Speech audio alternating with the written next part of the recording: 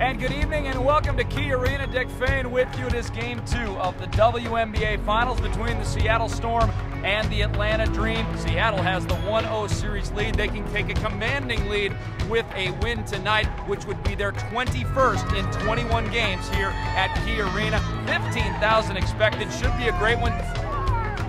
You, you want to take care of your home court. You don't want to be in a position where you have to win on another team's court. Um, but I'm sure they're thinking the same thing. You know, they would love to take care of this one also. So that's why I think it's really going to be a battle. We feel good. I got a great feeling about tonight. I'm really excited to play. I mean, this 87 needs to, you know, wind down. I'm ready. All right, offensive keys. Have that attack mentality. Give ourselves second shots with offensive boards. Get to the free throw line. You're ready to play. I mean, there's nothing else we can say. You know, everything is already out there. You've played a lot of games this year. You played 40 games, okay? So you know what to do. So let's go out and play together, play hard, and play smart with the ball, okay? Be smart with the basketball. Let's go. Hey, win this game. Let's go. Nobody's going to give us anything. We got to go take it. 40 minutes defense. One, two, three, defense. She may be able to give that strong physical presence in the paint. Jackson, the bucket and the foul off the dish from Cash. Angel McCoughtry's got to get involved offensively. There she goes, beyond the arc, that's a three for Angel McCoughtry. Cash over the top of it. Tied up again. Swin does now though. McCoughtry on her. Turnaround, spin, and catch the bucket. Swin Cash feeling it here in the second. That's ridiculous.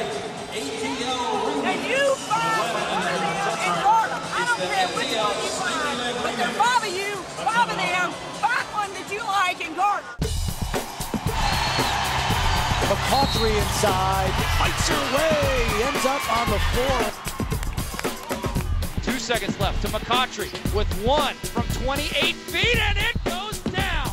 And Seattle in stunned silence right now. You can hear a pin drop in here, but the Storm still have the lead, 49-47 this next uh, 20 minutes, this might be the most competitive situation you've been in all year. Castro Marques. What are you going to do if you're Sue Bird? I mean, you're doing everything you can do, and that's just a great shot. So the Dream with a one-point lead. We approach the three-and-a-half minute mark here in the third.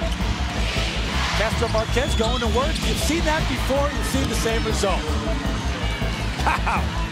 we forgot about what got us there. Then all of a sudden we start doing our own thing. We get a three second call. We start playing one on one. Fade away, 10 feet from the basket. In traffic.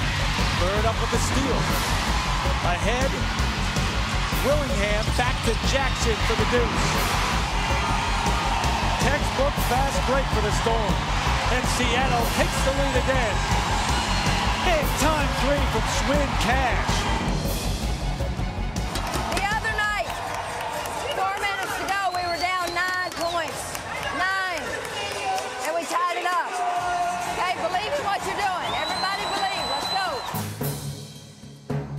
So it's Miller who will inbound it with 5.2.